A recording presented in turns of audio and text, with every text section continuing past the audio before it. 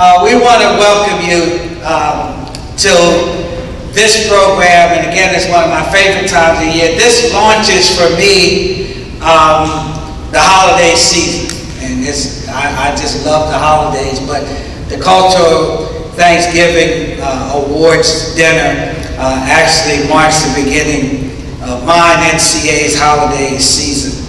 Um, we have seven community members uh, and organizations here tonight, and we're, we're not going to uh, be long, but we are going to be strong. Amen? Uh, if amen comes out, man, I'm a preacher, so you, you just get it. Y'all be If I get amens back, we'll move quicker. Um, but we have seven community members and organizations that we will be honoring tonight for being lanterns of hope in Europe. Each of these individuals has positively impacted the lives of youth and especially uh, our Rising Stars program. When we call your name, we're going to ask that you please come forward to receive your award. You're welcome to say a few words, of, and, and they already told me my words have to be short, so naturally yours will be too. Because I got Jose back there, and he'll preach a sermon if I allow him to. Um, but we will be prefacing each word or each award with a quote that we believe best captures their work and impact. Now this is, uh, and, and these recipients are truly lanterns of hope in and to our community. And when you think of a lantern, you think of something that shines a light. And even in the midst of COVID-19, without this room would be full. Some of you have been here before. We'd have 300 people in here for, for our cultural Thanksgiving. Naturally, we have to be limited. We, we are in the new era of stream and, and all of that stuff.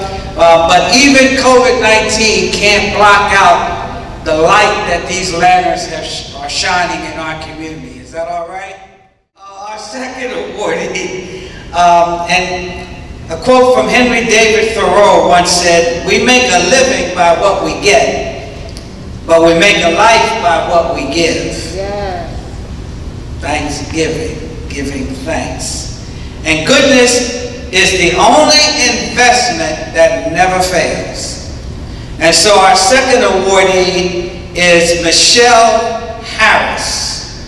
Michelle has been a part of the Salvation Army Corps Church since a very early age. She is very involved in the Corps as a lay leader and also served as a young people's sergeant major. She has been employed at the Salvation Army almost 25 years. As the outreach worker and volunteer coordinator, she bridges clients and children using the service services in the Salvation Army Worship Center. She also recruits volunteers for the majority of the Salvation Army events. Michelle works very closely with after-school programs and plans to oversee three different weekly youth programs as well as a summer day camp and Camp Ladore, an overnight camp. Michelle's job is very rewarding she has seen many children come through the programs at the Salvation Army. She plans to continue working there until retirement. Michelle Harris. Good evening. I just want to say it's, a, it's an honor to receive this award tonight. It has been a, a pleasure working with and mentoring and serving the youth of our community.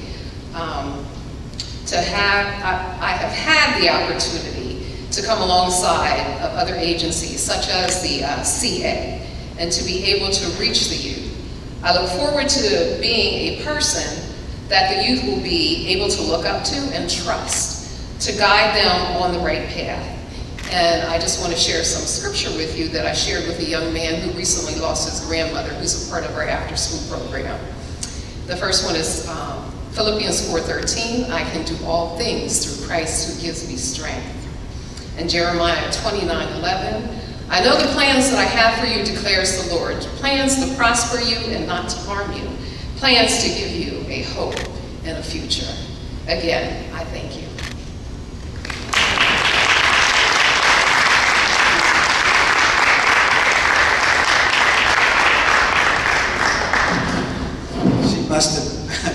in my sermon for this Sunday because both of those scriptures are in there.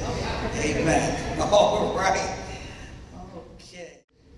Lights glowing from the lives of these individuals that we've recognized tonight. They have truly been lanterns of light uh, in this community, and we thank you. Let's let's give a round of applause for all of our,